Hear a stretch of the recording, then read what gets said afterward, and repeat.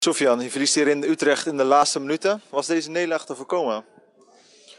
Ja, te voorkomen. Ja, op een gegeven moment bleven hun maar komen. En eh, ja, de laatste minuten, dan is het gewoon een beetje billen knijpen. En ja, gezien de wedstrijd 85 minuten lang, jou de 0-0. Ja, dan ga je ook vanuit dat je een punt binnensleept. En als dat niet zo is, dan ja, dan doet het wel pijn. En wat dacht je bij die eh, laatste kans van Duarte? Die 1 op 1?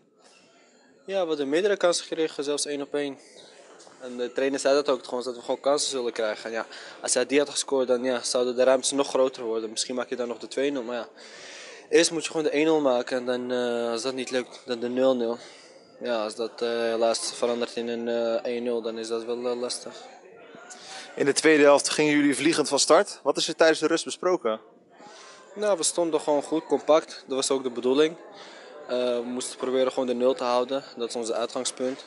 En de kansen komen elke wedstrijd wel. En dat zag je ook na rust. Dat er gewoon echt twee, drie kansen achter elkaar komen. Mogelijkheden. En ja, als je die niet maakt, ja. Dan eh, wordt het nog een moeilijk verhaal. Nu zaterdag thuis tegen koploper PSV. Nog vertrouwen in een goed resultaat? Ja, zeker weet. We hebben eh, na de winterstop bij niet één keer het gevoel gehad dat we kansloos waren. En als dat PSV is, dan سواء كلافو دي سترايت فراتاس